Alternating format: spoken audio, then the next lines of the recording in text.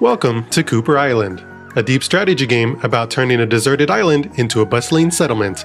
With limited actions over just a few rounds, you'll need to turn this empty landscape into your very own island paradise. Cooper Island is designed for 1 to 4 players and features a modular puzzle piece board to accommodate the number of players at the table. This allows you to arrange the board to meet your particular needs and minimize the space needed to play. Cooper Island features a beautiful three-dimensional tile lane system to manage and track your resources.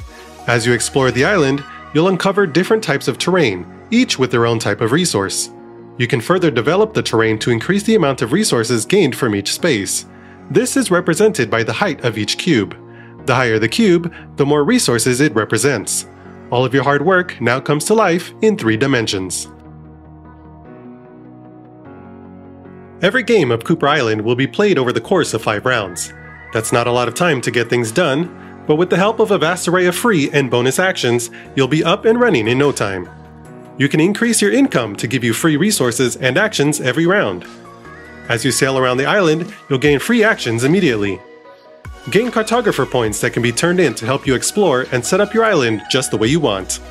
What initially seems like a limited playfield quickly opens up if you're able to utilize all the tools at your disposal.